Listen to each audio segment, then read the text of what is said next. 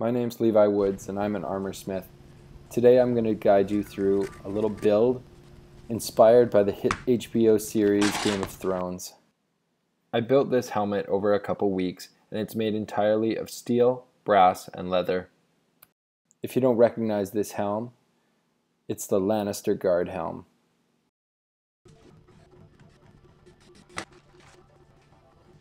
First I'm going to cut a paper pattern just to get a reasonable size for the helmet.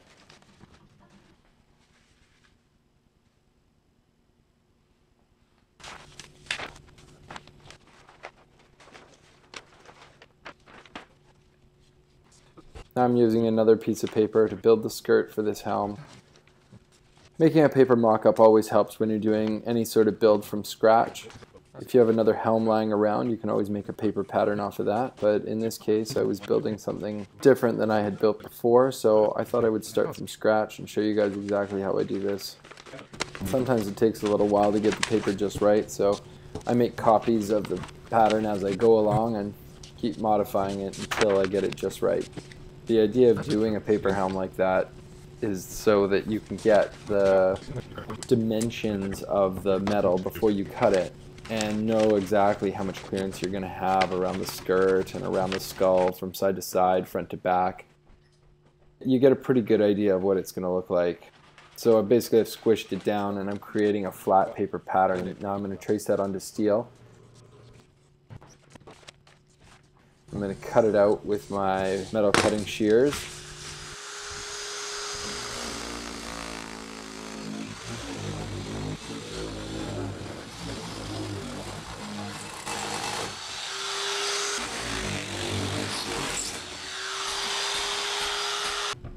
This helm was cut out of 18 gauge mild steel. Now I'm going to use the Beverly shear to cut this out. You can get a pretty accurate cut with the Beverly shear, so I like to use it for uh, final cuts as well as rough cutting things. It's a pretty quick and effective tool.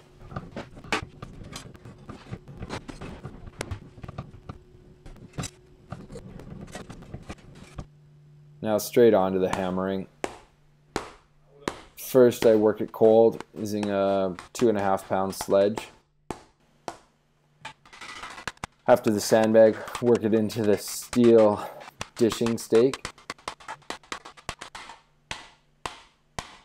Now because this is 18 gauge, you can dish it quite a bit before it starts to thin. And this particular armor wasn't intended for real combat. It's just a movie prop. So now I'm going to get out a modified ball peen hammer. I'm just going to continue to dish this cold.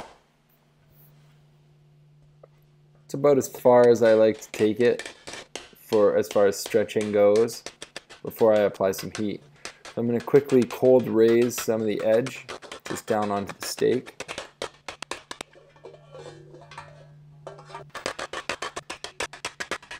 Can start to see the shape of the helmet coming together already. The back of the helm is always tricky. There's that little bit of peak, so you have to raise it a little bit more to get that to, to squish in. Now inside my shop, I use an oxy propane torch with a rosebud tip. I just like to heat up that metal, anneals it, and then I like to work it as quickly as possible while it's hot. Just over the ball stake again raising it. So I'm actually never compressing the metal directly against the stake. I've got the center of the stake sitting just off of where my hammer blows are so that you're pushing the metal down towards the stake but you're never squishing it between the hammer and the stake. When you're raising a helmet like this, I like to start at the ear and kind of work my way up and around to the top of the head and front and back in successive passes. With each pass, you can kind of push the metal a little bit further down. What you're essentially doing is thickening up at the edges as you move up the helm. Again, the back of the head there is always a little bit tricky. It requires a lot of uh, squishing that metal together, so it required quite a few heats. Here I am just doing a rough comparison of the two halves. Just want to get them approximately the same shape so you can clamp them together I cut some templates of exactly what I wanted the finished helmet to look like out of wood. Here I am just using a plastic mallet just to rough out that tail a little bit. And now I'm going to put a crease in one side. This will be the line that runs down the side of the helmet. Doing a bit of planishing here, just smoothing out all those, those bumpy bits. Now this helm, I wanted it to have a fairly rough finish, so I could planish it really far, but in this case I leave it pretty rough from the hammer. Now, now that the one line is on there, I want to match it exactly. So I measure it quite a bit and get the line marked on there so that the second half has the crease in the same spot. I rough in the crease using a weighted rawhide mallet. Then I switch over to a heavy planishing hammer to smooth it out on either side of the crease. So here's a quick test fit of the two halves just to see where it might need to be modified. And before you can do those final tweaks, you kind of have to get the two halves together. So what I'm going to do is I'm going to cut them so that they have a finished edge. So back over to the Beverly shear, and I'm just going to cut these nice and straight.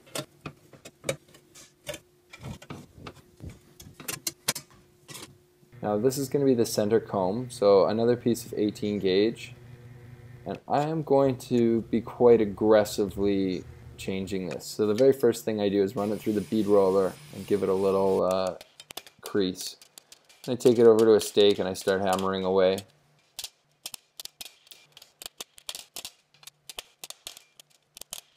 Quite a few heats and quite a bit of hammering later, it starts to look a little bit like this. You can see the metal kind of flakes off there from all the heats. Now this is just to raise that comb even more. I'm basically heating it up where I want it to bend and then squishing it in the vise, causing it to get taller. Now I'm starting to shape the comb to the to match the profile of the helmet and because my helmet already matches this wood form I don't have to use the metal shell I can just use the wood form just keep heating and bending now what I'm doing is I'm actually creating a little bit of a slope to either side so that comb doesn't come straight out but it actually slopes down into the curvature of the helm. There we go, starting to look like a helmet. Punch a couple of holes in the center here and then I can measure back off of those and now I'm going to work the comb down onto the helmet grabbing a little punch. I don't I try not to drill when I don't have to and use that punch as much as possible. Now everybody's probably wondering what kind of fasteners those are because a lot of people have never seen them before. And they're called Cleco pins and they're a, a sheet metal fastener that allows you to hold things together temporarily and they're amazingly fast. Uh, I definitely recommend them to anyone that uh, wants to get into armoring of any type. So Now I'm just trying to flare out this skirt a little bit. I'm using a cross peen hammer here and basically putting a whole bunch of little cross peens in and then hammering them flat. What that does is it stretches the metal out and causes it to flare out in both directions. I'm working from the inside of the helmet on this crease again, just uh, straightening it up and making it look exactly the way I want it to. Now on the comb, I've got a use a cold chisel that is, is all rounded smooth and I'm just going to pound it down into that matching crease.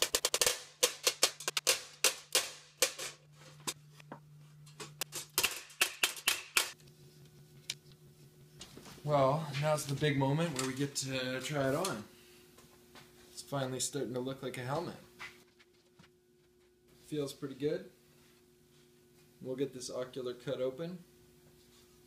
Put a little roll on the edge. So far so good. Now let's head over to the bandsaw and cut off the bottom of the skirt. Next I'm going to cut this ocular opening and it's a little bit tight with its with the blade so I didn't cut all the way. Instead I got out my air nibbler and just chewed it off with that. Next I grab my power file and sand that down Now what I'm doing is just marking the roll that I'm going to put on here. I always enjoy doing a roll by hand. It goes faster than it seems like it would. I use a lightweight ball peen hammer that's been modified on both sides. The flat face has been modified to be slightly convex and the backside has been rebated to be a little bit bullnosed. It works very well for doing this type of roll. This completed roll makes the bottom of the helmet very rigid. For sanding, I started with 120 grit flap disc, then I switched to the little orbital, worked my way up to 320 grit. After that, I had to cut the nasal of the comb just to accommodate the brass work on the eyebrow. Now I'm going to give this a quick coat of a paint and primer in a nice Lannister red. Here we are using the bead roller to put the hinges on the front for the folding front face plates. Switching dies a couple of times requires a little bit of work but uh, basically folds it over a wire so you get a, a nice even rounded tube that'll be cut into a hinge. There's a little bit of handwork still involved with this. I'll use my uh, Whitney punch number 16 to punch some 1 8 holes into this hinge before it gets installed onto the helm.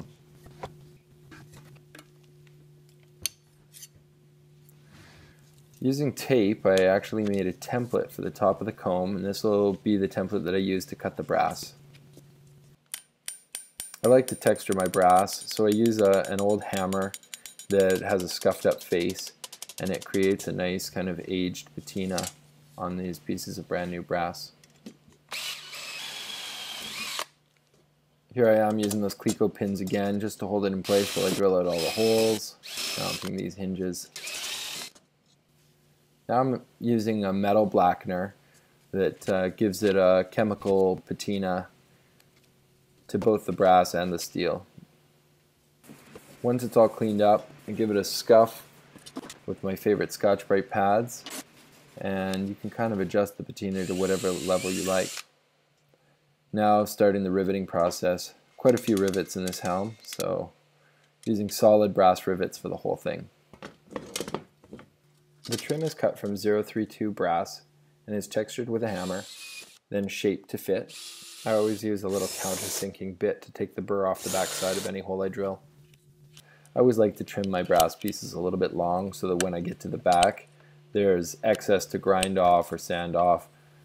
You can see here how much I love using these Cleco pins. I used to bolt my armor together with nuts and bolts and it is way faster with those pins. It's a little bit tedious but it's actually quite fun to assemble this kind of stuff. You just work your way around starting at one end and keeping the brass nice and flush as you work your way to the back.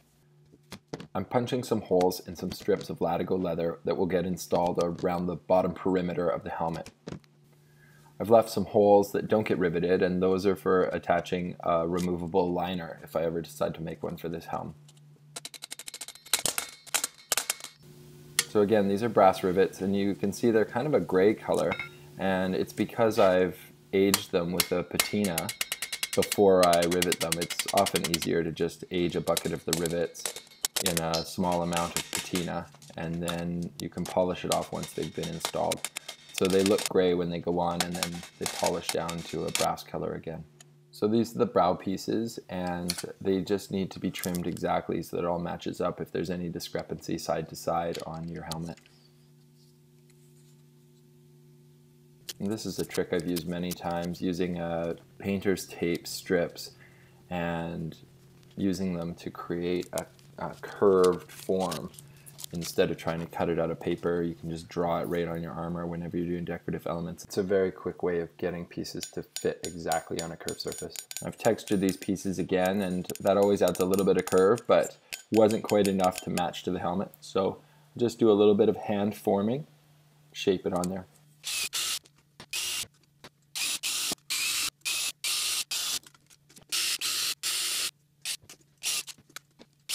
Using a profile gauge, I can quickly get the exact profile of the outside of the helm so that I can make the crest that goes across the helmet.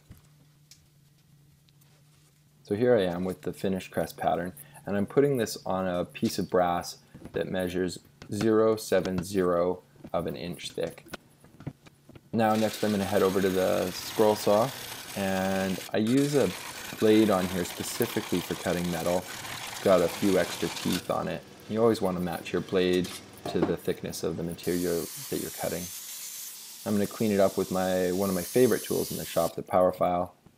And now I have to make the little brackets that go onto the crest to hold it onto the helm. I absolutely love doing these parts of the project. They're tiny and they're usually relatively quick from start to finish. So they're really great. Just make them up as you go along and it's kind of something that you know is coming but you don't know exactly what it's going to be like until you get to that piece and then it always seems to work out and it adds a lot of detail those little tiny things. The little brackets that I just made will be mounted on the back of the crest so I've got to punch some holes for the rivets to go through. After that I'll grab my texture hammer and I'll add a texture to the entire piece. This always creates a bit of a curve so I'll pound that out using the rawhide mallet leaving just ever so slight bit of curve so that the crest has a bit of life to it. It's not just dead flat. From the front, I want these rivets to be near invisible. So I countersink them a little bit, and then we're going to flush rivet them in. And I'm going to cut the rivets quite short, and then pound them down so they're flush with the face of the brass. And then I'll use my little air sander and just nip the top of those off so they're absolutely flush. Once that's all done and cleaned up, I'll have to add the texture back on using my little texture hammer again. Now back onto the chemical patina and once it's all cleaned up, scrub it back to the point where I want it to be. Drill the mounting holes and the helmet comes apart one last time. This is a piece of lambskin and what I've done is I've put some leather cement on it and I'm putting a string inside. This will be used to create a decorative blackened soft edge at the top of the ocular. I always like to do a soft edge above the bridge of the nose because it's the most likely place that if the helmet shifts, that's where it's going to touch the actor's face. Mark some holes. Again, that's for the liner that might be installed at some other time. So now we have this completed edge that'll protect the actor somewhat in the event of an accident. Now I finally get to rivet this helmet together. So starting at the top center, one rivet at a time,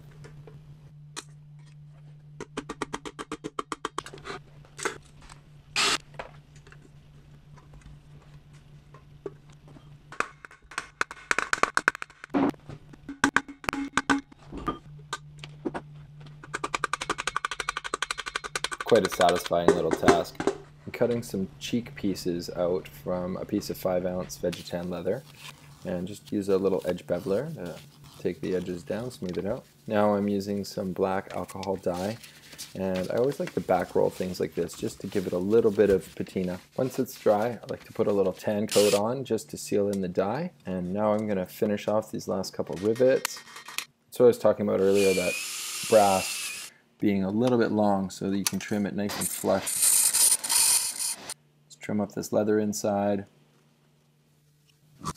I always like to do a slight adjustment to the aging and patina after it's all fully assembled. That way you can highlight those rivets and leave the darkening where it needs to be. When I laid this out, I intended that the rivets to be used for the crest would also do double duty to hold the cheek flaps to, together. And now it's time to do the faceplate. So again, back to my paper templates. Get it all bolted together there, drill the eyes on. Cut it out with my electric shear. Back to the Beverly shear, get the brass all trimmed up.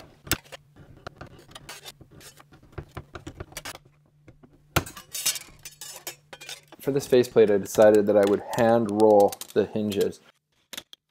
It's a process that takes a little bit of getting used to, but it's not actually that difficult. It's about the same amount of work as doing it on the bead roller, and it's a lot more satisfying. So you can see I'm using a piece of wire that I will use as the finished hinge pin, and a variety of different holding techniques to just get that shape right. And using a hacksaw, I just cut the hinges and I cut them always a little bit shy of where they should be so that we can do a little bit of fine tuning with the file. Using a jewelry saw just finishes those off and then mounted in my vise is my favorite little power file. Getting this exactly right is a little bit tricky. There's a lot of back and forth with a file, and marking, and filing. You can see I put a piece of tape on my file to protect surfaces that I don't want to file. Now it's finally all fit, and it's nice and snug. There we go, ready for cutting out. Using a jewelry saw is one of the only ways to do this kind of pierce work. It's pretty fast once you get the hang of it. Now, for the small holes, I had to drill them out with my Foredom, and then over to my punch to get some of these larger holes, punching eighth inch. Just enough to get in and maneuver around with the jewelry saw. It's always important to use the right size blade. For this brass, I was using an 81 tooth per inch blade. I like to cut with the jewelry saw in a single layer. When it comes to filing, I like to layer them together so that I can match them exactly. Now for a quick cleanup using my little air sander and making sure to soften all the edges on the brass. Quick chemical patina and a little bit of hand shaping before it's ready for that final installation.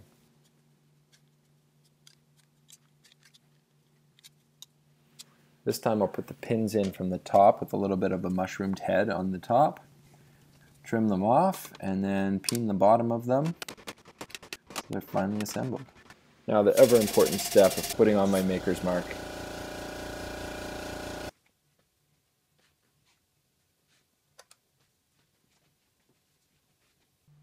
I hope you've enjoyed watching this as much as I enjoyed building it. Please like and subscribe and share it with your friends on social media.